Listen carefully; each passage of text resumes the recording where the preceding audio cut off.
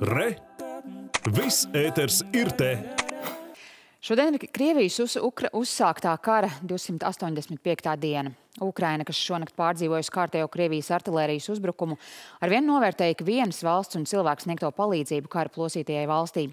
Ogres novada iedzīvotāji saziedojuši gan automašīnas, gan ikdienā nepieciešamas preces karavīriem Austrumukrainā frontes līnijās.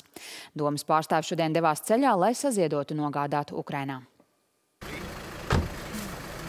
Ir agras pirmdienas rīts, pulkstenis ir nedaudz pirms pieciem. Pie ogres domas notiek gatavošanās vairāk nekā 50 stundu garam ceļam uz austrumu Ukrainu, Slovjanskas apgabalu, kur šobrīd notiek aktīva kara darbība. Sagatavotas divas kustības uzņēmēju mieram sagādātās automašīnas, džips un autobus Ukrainas armijai. Tās piekrāmēts ar ogres nodnieku saziedotām precēm karavīriem frontē, jo īpaši ar ziemas apstākļiem aktuālo termoveļu. Mašīnas nogādāt piekrituši ogres noda domas deputāti. Mums ir vēl tieši tik daudz brīvas vietas, lai ieliktu vienu guļamaisu.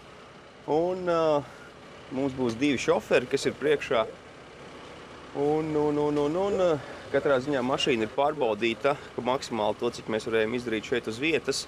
Eļļa ir nomainīta, riepas piediens ir, uh, logas lotiņas arī, braukšanas vaina.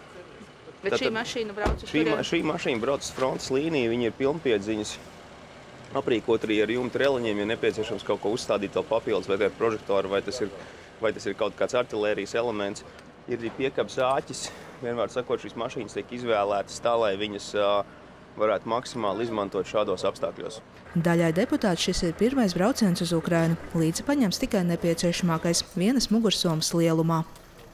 Bija viss limitēts, tāpēc bija jāpaņem tieši tik, cik vajadzīgs, jo tur palīdzībai viss ir vairāk vieta mašīnā vajadzīga uz minimumu, lai pietiktu.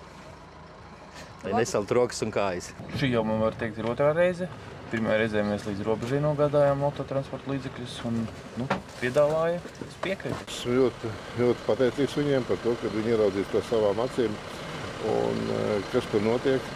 Un tas jau arī būs nu, ļoti svarīgi pieņemot tālākos lēmumus, kas būs saistībā ar Ukrainu, saistībā ar mūsu pašu civilo aizsardzību šeit uz vietas. Ogres mēram šī gan nav pirmā vizīte Ukrainā. Jau iepriekš viņš vedis humāno palīdzību sadraudzības pilsētām Slovjansku un Černīhivu.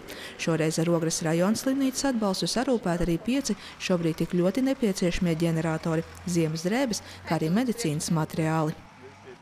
Katram ir savs darbiņš, kas viņam jādara, un, mums ir jāizdara savs, mums ir jāpalīdz Ukraiņiem, eh, lai iztur šo ziemu. Jo Dotē brīdī Putins cīnās pat ne pret karavīriem, bet civiliedzīvotājiem, atņemot viņiem elektrību, siltumu. Es darīšu visu, kas būs manos spēkos, lai manai ģimenei, manai sievai, manam dēlam nekad nebūtu jāpiedzīvo tas, ko šobrīd piedzīvo, kad cilvēki, kas atrodas tikai dažus tūkstošu kilometru attālumā no mums. Plānos kongres no domas pārstāvju Ukrainā uzturēsies nedēļu. Dācis Siliņa, Māris Freibergs, Vicemes televīzija.